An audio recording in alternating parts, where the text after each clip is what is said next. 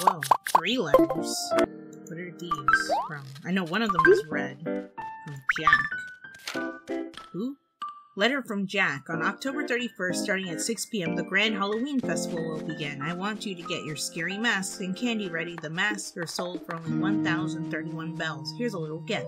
Oh, yeah, that's right. Forgot that there's a Halloween event in this game where you interact with them. Sort of similar to the one for Easter. You interact with the character, and if you give him certain things, he'll give you prizes like masks and stuff like that. Like we got the werewolf hood here, which if you put it on, that's what it looks like. But I like wearing my um, lucky clovers, so I'll go ahead and put that back on. Who's this from? Redd. Okay, yeah, typical Redd. All sales final. Yeah, we know. So let's go ahead and grab the painting that we got from him, which was ancient statue. Sorry, statue, not painting.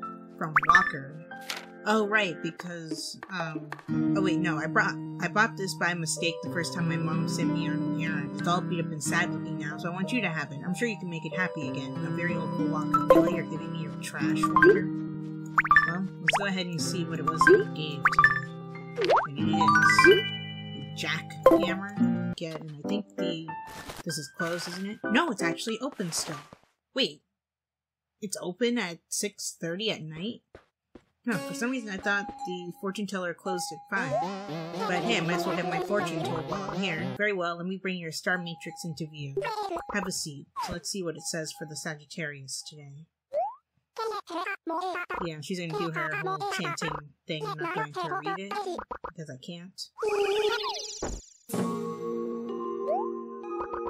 Ah, yes, it has come into view. A walrus dreams of a large buffet. He never ceases to dream, and so he shall be happy. From this place I can see the sign, so yes, I can. I can. I see good fortune upon health. Unisex top. This item will be the key to truly unlocking your good fortune. Okay, so if I wear a unisex top on this day, then I get extra um, points into my luck stat, which is completely invisible, by the way. Since you're already wearing a lucky item now, I think you will be fine for today. Oh, I'm already wearing a lucky item. May happiness find you and yours. And remember that bad times are just times that are bad. Oh, I didn't realize that the sharp top that I'm wearing is a unisex top. Cool. So I'm all set for today. Gotcha. I caught a bell cricket. Odd, it doesn't look like money. I like that joke. I wonder what my encyclopedia says about my new catch. Nice. I thought I heard an odd sound.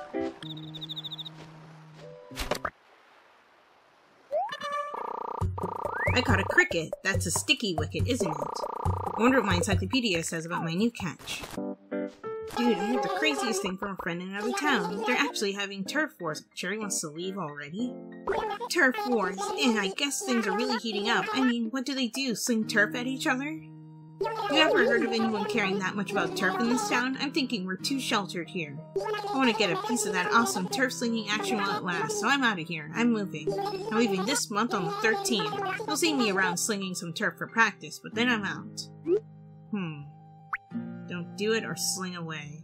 I'm gonna say don't do it because Cherry is pretty much brand new and I don't want her to leave yet. What? You want me to stay? Well, I mean, okay, I guess. If it'll make you happy, I can stick around a while longer. What, what? hey, Blathers. So let's go ahead and submit the stuff that I have. So let's make a donation.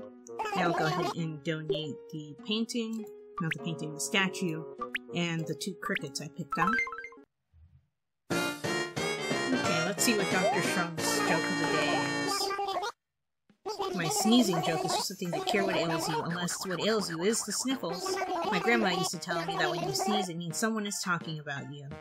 I used to be pretty popular back in the day, so I got used to people talking about me here and there. It hasn't really happened since I retired, though. Uh, could it be that someone out there is talking about me? Uh, maybe. I think you just have allergies, though. See? They must be. Okay, we get it, Shrunk. Thanks. Uh-oh, maybe it's my human allergies coming back again. okay, I wasn't expecting that to be the punchline that he's allergic to humans. Yep, this is the first time I've seen the sneezing joke. I'll remember that punchline.